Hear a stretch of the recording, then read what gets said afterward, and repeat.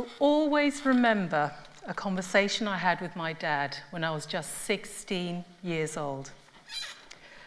I had just finished my GCSEs and I'd done well, so we were having a discussion about my A level choices. I had chosen English literature, economics, and history. This came as a bit of a shock to my father. And why? I come from a medical family. I'm the eldest child from a Nigerian background. The expectation was that I would do medicine, and importantly, that my younger siblings would also follow suit. So it wasn't part of the plan that I would do anything but maths, physics, chemistry, and biology at A level, and then go on to medical school. We had a week of about, you know, lots of discussions, lots of tension. Dad was really, really upset with me because this was not part of the plan. I had to get my mum involved, school teachers.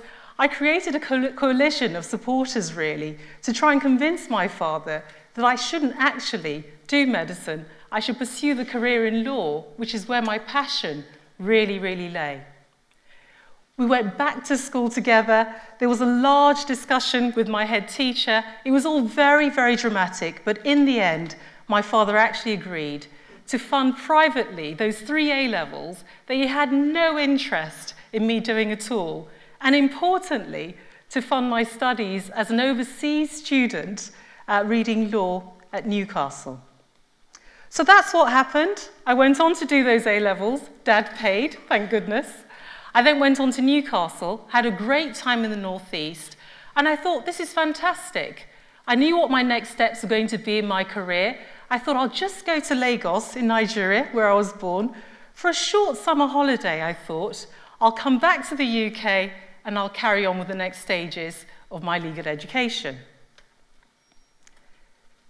That didn't quite work out for me. The summer break ended up becoming a three year sabbatical in Nigeria. When I landed at Lagos Airport, I received a warm welcome from all my family. I was embraced very, very warmly because I'd been away in the UK at school for so long. Before I knew it, I was being cajoled, emotionally blackmailed, if you will, into staying in Nigeria for a much longer time than I'd intentionally planned, actually. I had one suitcase because I thought I was only going for the summer holiday, and I ended up staying for three years. During that time, I thought, what can I do with my time here that would usefully see me along and actually help me to become a lawyer, which was the plan all along? So I went to Nigerian law school, and I spent two and a half years there studying and working. As soon as I finished there, however, I got the first flight back to the UK as, I could, as soon as I could. The next stage in the plan should have been eventually getting to the Law Society. So what should have been the next steps for me was getting a training contract or some sort of concession so I could transfer that Nigerian qualification to a UK one. That did not go according to plan. So I did what we call the transfer test, and the Law Society said, you don't need the two-year training contract. You can do just six months and then you're away, you can qualify. I thought this would be a piece of cake, getting the six months experience. Massive wake up call for me. When I was applying to get the six months experience with those very, very big law firms that I was aiming to work for as a corporate lawyer, I became very, very conscious of the fact that with a name like Funke Abimbola, it was very, very obvious that I wasn't British born. I became very conscious of the fact that there was a lot of discrimination within the legal profession that I so dearly wanted to join. In my desperation, I was only needing six months, let's not forget, to qualify. I drew up a list of the top 100 firms in the country for corporate law. I did the same with the companies I also wanted to work for that I thought would be privileged enough to have me working for them with my lack of work experience and all the rest of it found out the names of the team leaders within each and every one of those organizations, and I cold called each and every one. I had a cheesy sales pitch about myself.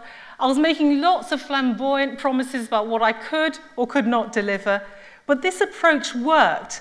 And going back to my father with my tail between my legs and saying I didn't actually manage to qualify after all just wasn't an option. So I had to do this. Finally, I managed to qualify. I qualified almost 16 years ago as a corporate lawyer. My career was ticking along nicely, and I thought, this is great. I've climbed a few mountains at this stage, but I'm getting to the top of the mountain. I was married, and what tends to happen when you've been married for a few years? We had this little guy. I was 28 at the time, and I naively thought that surely loads of 28 year old married women working in the City of London as corporate lawyers are having babies. I found out very, very quickly that I was seemingly the only 28 year old woman married working as a corporate lawyer in the city who decided to have a child. What I very quickly realized was that women were waiting until they were already partner they were going to wait until they were in their mid 30s, become a partner, and only then choose to have their children. Of course, that wasn't part of the plan for me. We wanted to have a baby. I didn't think beyond that. Coming back to work after a year's maternity leave was one of the most terrifying things of my life. I knew I wouldn't be able to do the usual 48 hour stints, 72 hour stints that were required to close a deal, so I asked to work flexibly without realizing that I was actually the first person in the history of my firm to have ever dared to ask to work flexibly. It was terrifying, absolutely terrifying. We tried all sorts of things and it just didn't work. I felt such despair that I can't evoke it into words. I'd managed to qualify. I'd gained qualification experience after my qualification. I'd had my baby, and to think that even now I wouldn't be able to progress my career was just too frustrating for words. Eventually, I left London altogether. I moved out of London to leafy Hertfordshire, where I was able to work for a regional firm and enjoy much better work life balance and not have to worry about working through the night and having ultra demanding clients to deal with. It was a very, very different thing working in a regional practice. Now, this is an idea worth spreading. You never know what's going to come your way in life. You take all these steps along the way, and you don't really know where you're heading half the time. We live life forwards, but we actually look backwards to truly understand what's going on in our lives and I found a really pertinent quote from Martin Luther King, where he said that often you're taking that first step even when you can't see the whole staircase. So, where are we now? This is my son. He's now 13 years old. So, this is that baby that you saw earlier on. What have I learned from the steps I've taken so far? What have I learned about parenting? Do you think there's been any impact whatsoever in having come this far in the way I parent my son? Of course there has been. I'm fully supportive of whatever his goals are. As long as he tries his best and works to his full potential, he can do whatever he wants to do in life. I'm not upset that he doesn't want to become a lawyer.